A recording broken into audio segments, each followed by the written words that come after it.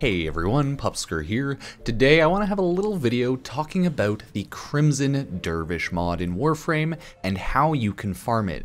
If you didn't know, the Crimson Dervish mod is one of those rare mods that's really hard to acquire all in all, spelling's hard.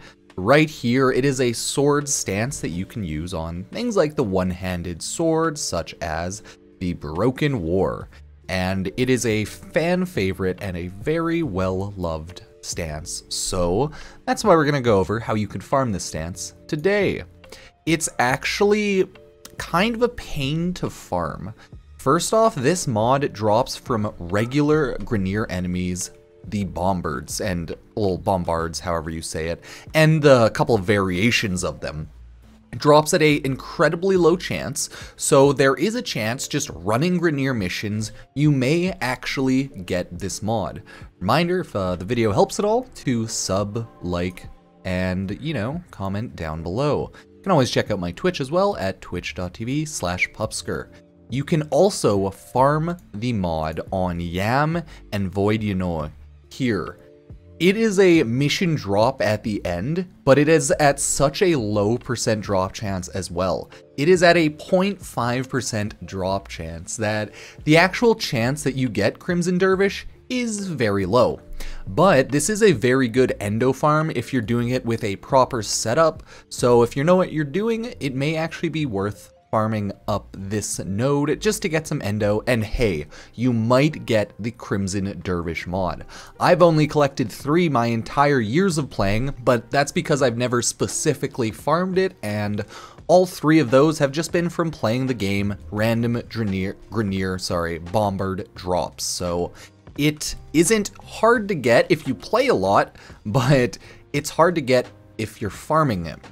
There is one enemy specifically that you can actually farm in order to get the item, and that is an enemy that you come across in the Silver Grove questline. The enemy that you come across in the Silver Grove questline is called a Knave Spectre. And the Spectre, I believe, always takes the form of Loki. It's not really too tanky or anything at all. And I would recommend, in order to spawn the Knave Spectre, you go to the Mantle capture quest here. You can find the specific spawn for the Knave Spectre on any Grineer Forest tile mission, but it comes with a catch. First, you'll definitely want to have done the Silver Grove questline, right? Because you have to spawn the Knave Spectre in a specific way. If you've ran the Silver Grove questline, you should know that the Silver Grove has a shrine. This is the Silver Grove shrine right here. It's what it looks like, right? This is where you spawn in the Knave Spectre, but the spawn in method specifically requires you to use the Apothic, I think it's Nightfall Apothic. Let me check. Yep, it is the Nightfall Apothic here. You have to put this on your gear wheel and use it to spawn the Knave Spectre. The issue is the Moonlight Dragon Lilies, the Dusklight Sarracenia, and the Sunlight Thresh Cones are kind of a pain to farm.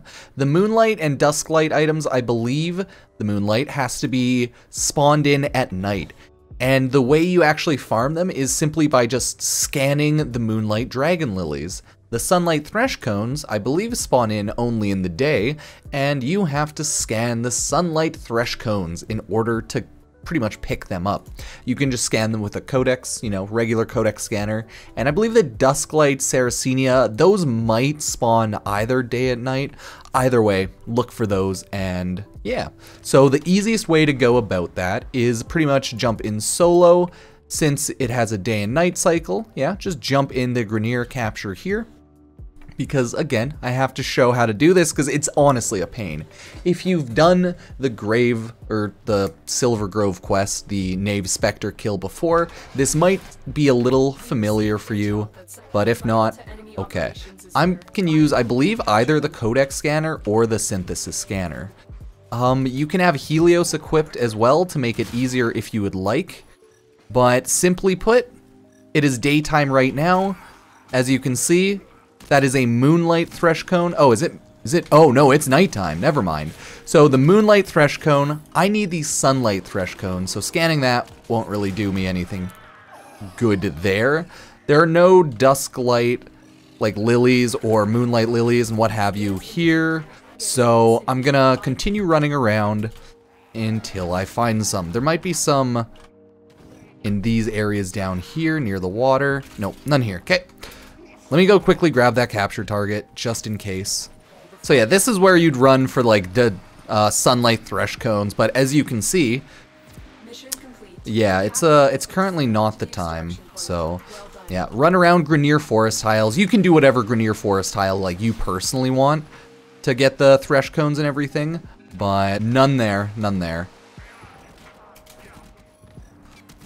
Because I just want to, oh, it's some, I just want to show off what the uh, like the lilies and stuff look like. I believe they usually spawn in a little kind of clump together. They don't usually spawn in these areas. Okay. But we'll see shortly enough. I think a lot of them generally spawn in like these open areas like this.